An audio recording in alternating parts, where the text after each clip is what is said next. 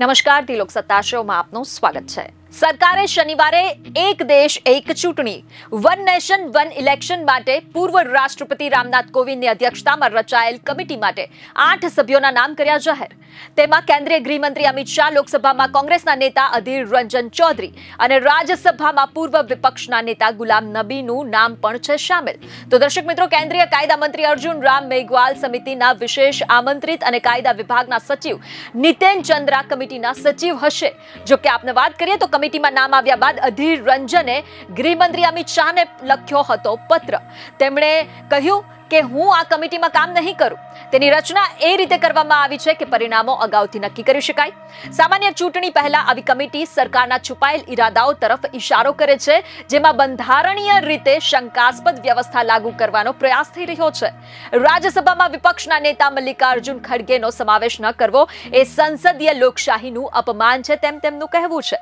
તો આ તરફ સરકારનું કહેવું છે કે દર વર્ષે નિયત સમય વિના યોજાતી જે ચૂંટણીઓ જે છે તેને બંધ કરવી જોઈએ મોદી સરકારે અઢાર થી બાવીસ સપ્ટેમ્બર સુધી વિશેષ સત્ર બોલાવ્યું છે દર્શક મિત્રો જોકે આ સત્રને લઈને ઘણી અટકળો ચાલી રહી છે ચર્ચાઓ જગદોડે છે આ સત્ર શા માટે બોલાવવામાં આવ્યું સરકાર તરફથી હજુ સુધી કોઈ નિવેદન આવ્યું નથી શું મોદી સરકાર કંઈ નવું લાવી રહી છે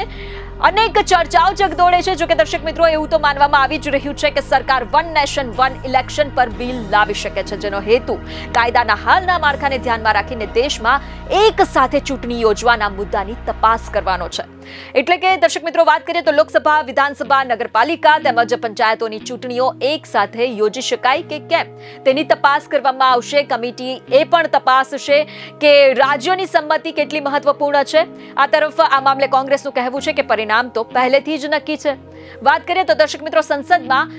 પાંચ દિવસનું સત્ર અને પાંચ શક્યતાઓ કઈ કઈ ચર્ચાઈ રહી છે તો મહિલાઓ માટે સંસદમાં એક તૃતીયાંશથી વધારે બેઠકો પ્રદાન કરવી નવા સંસદ ભવનમાં shifting uniform civil code bill રજૂ કરવામાં આવી શકે છે લોકસભા અને વિધાનસભાની ચૂંટણી એક સાથે કરવાનું બિલ આવી શકે છે અનામત અંગે જોગવાઈ શકે છે ઓબીસીની કેન્દ્રીય સૂચિનું પેટા વર્ગીકરણ અનામત અસમાન વિતરણનો અભ્યાસ કરવા માટે બે હજાર સત્તરમાં રચાયેલ રોહિણી કમિશને એક ઓગસ્ટના રોજ રાષ્ટ્રપતિને અહેવાલ સુપરત કર્યો હતો બીજી અનેક ખબરો સાથે ફરી મળીશું. ધન્યવાદ.